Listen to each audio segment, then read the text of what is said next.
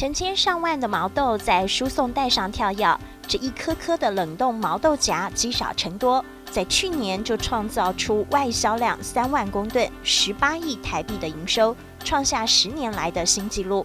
小小毛豆立大功，要带您一起来了解创造绿金奇迹的农业专区。采收后的毛豆全部都会送到冷冻厂来集中加工、配送处理，从种植到出口一条边的流程。透过严密的品质控制，接着再强力行销，努力把最优质的毛豆外销出口。看着毛豆田，毛豆荚一串串挂着。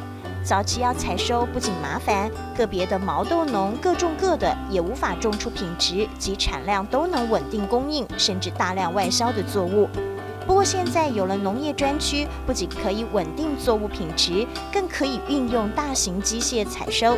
让台湾每年可以采收近五万公吨的毛豆，其中三万公吨要出口。借由统一流程，每年种出两百多公顷的毛豆，不再是小农单打独斗。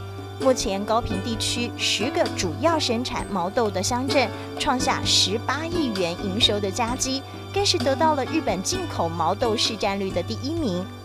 面积大的话，呃，管理成本会降低。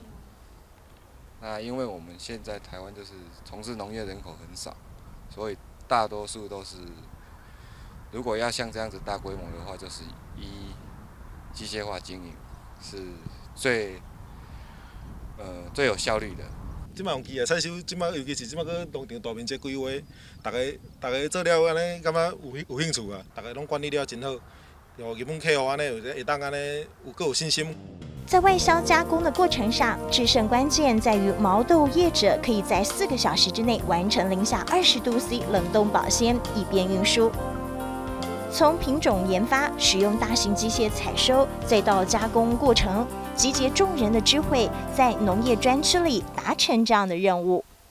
然而，大规模的种植更需要加强病虫害的防治，健康的作物及产品更是农业专区的核心价值。我们在这个病虫害的这个防治方面，还有栽培管理方面，我们做了很多的这个辅导。哦，比如说我们引进了一些非农药的，不是用农药来防治这些病虫害。那如果一定要用农药的话，我们就会辅导他们来用。就是外销日本的话，就是日本可以啊许可使用的这些农药。然后着力最深的就是教导农民能够。正确的、安全的来防治这些病虫害。另一个崛起的绿金还有凤梨，刀子一切就看见黄色的果实，浓密的口感相当好吃，也很受到日本人的喜爱。一箱一箱进行包装，并且送上了货柜。这些凤梨不论是要进行外销，或者是供货给大卖场，供货的稳定度以及品质成为重要的课题。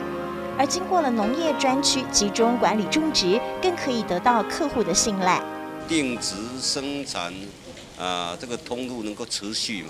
能够持持续嘛？啊，就是讲，咱有持续三个月、五个月的储备时间，当然咱得有迄个能力吼，有迄个能力甲有迄个优势，通甲啊，这大卖场能够啊，能够供货啊，他们也比较能够信赖我们。集结众人的力量，配合政府的辅导，进行机械化的耕种采收，提升了农业专区的价值，提供品质保证以及供货稳定。而这些小毛豆个头虽小，在农业专区里集中在一起，就能够发挥令人赞叹的绿金奇迹。